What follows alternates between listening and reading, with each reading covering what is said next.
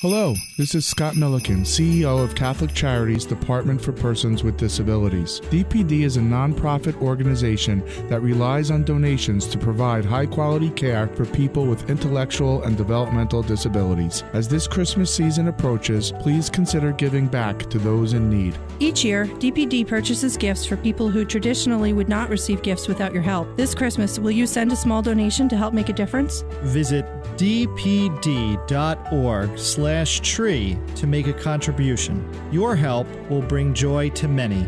That's dpd.org slash tree. DPD thanks our community for your continued support throughout the year, and we wish you and your families a very Merry Christmas.